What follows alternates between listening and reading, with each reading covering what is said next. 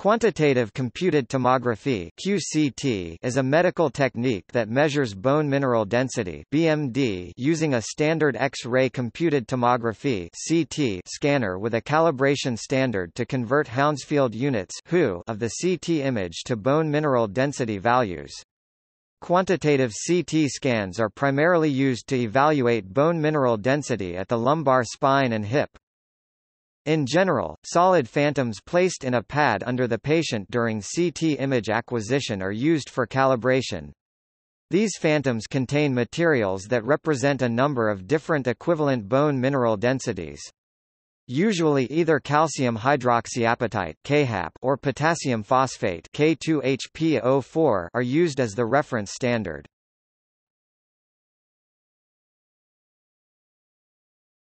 Topic: History QCT was invented at University of California San Francisco UCSF during the 1970s. Douglas Boyd, Ph.D. and Harry Genant, M.D. used a CT head scanner to do some of the seminal work on QCT. At the same time, CT imaging technology progressed rapidly and Genant and Boyd worked with one of EMI's first whole-body CT systems in the late 1970s and early 1980s to apply the quantitative CT method to the spine, coining the term QCT. Genant later published several articles on spinal QCT in the early 1980s with Christopher E. Cann, Ph.D. Today, QCT is being used in hundreds of medical imaging centers around the world, both clinically and as a powerful research tool.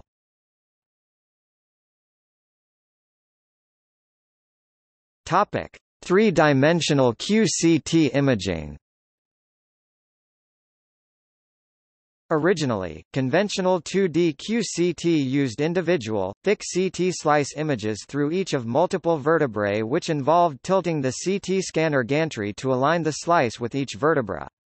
Today, modern 3D QCT uses the ability of CT scanners to rapidly acquire multiple slices to construct three-dimensional images of the human body. Using 3D imaging substantially reduced image acquisition time, improved reproducibility and enabled QCT bone density analysis of the hip.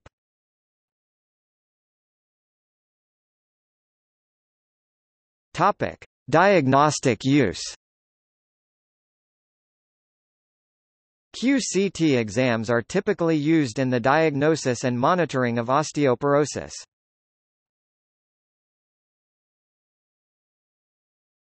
Topic: Lumbar spine.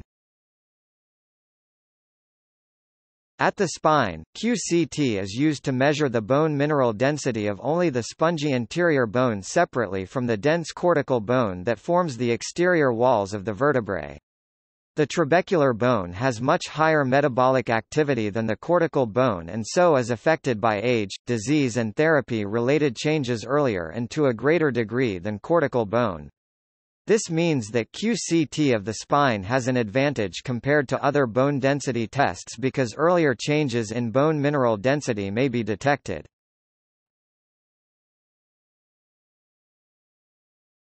Topic: Hip Clinically, QCT is used at the hip to produce areal BMD measurements and T-scores that are equivalent to DXA measurements. The exam can be done without particular attention to the positioning of the patient's limbs because the software allows the hip anatomy to be manipulated after the image is captured, allowing the exam to be performed on patients with arthritic hips who may find traditional exams uncomfortable.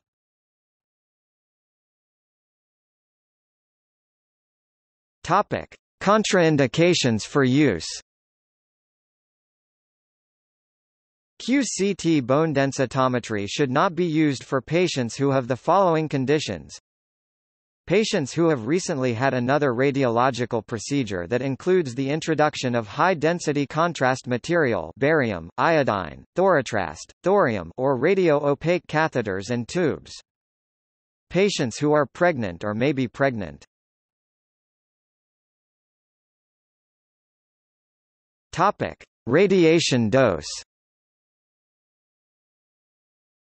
QCT scan protocols are low dose and can limit the amount of radiation exposure to between 200 to 400 microsieverts for a spine exam. This is comparable to a set of mammograms and typically substantially less than a standard CT exam. Using other non-IV contrast abdominal or pelvic scans such as a virtual colonography studies, the QCT exam can be performed without requiring any further image acquisition or consequent radiation dose to the patient.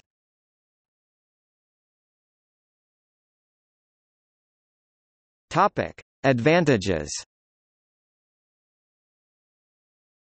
QCT enables spine BMD measurements on patients with scoliosis, which cannot usually be measured using dual-energy X-ray absorptiometry DXA.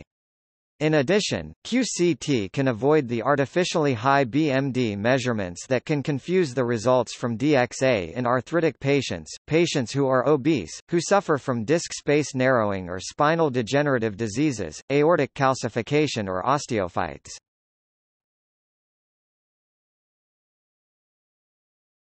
Topic: Reproducibility. Short-term precision estimates of BMD measurement by 3D QCT have been published for the lumbar spine as 0.8% and femoral neck as 0.69%.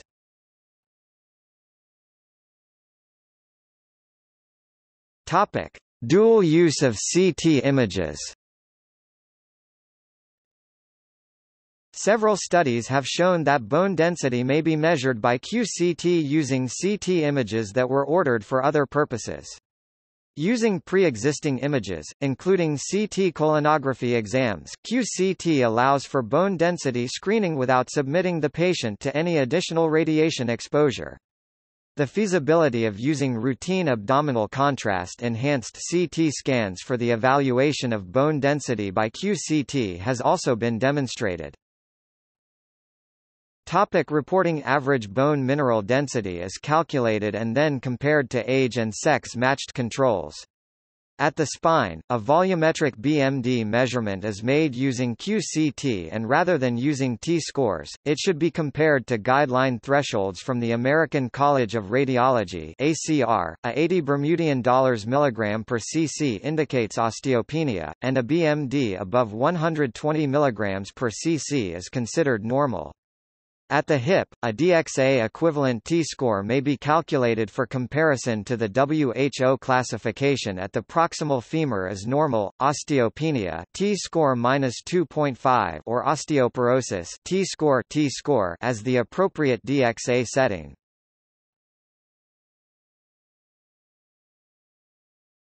Topic: Peripheral quantitative computed tomography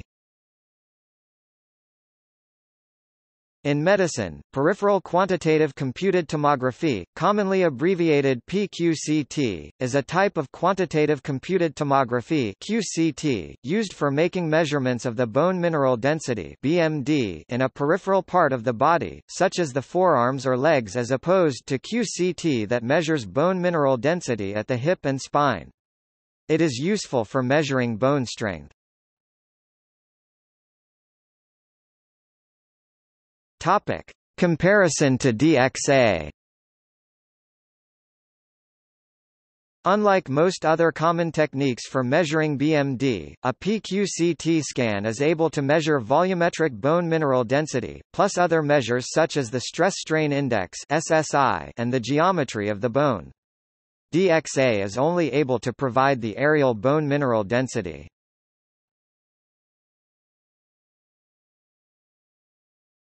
Topic. See also Dual energy X-ray absorptiometry DXA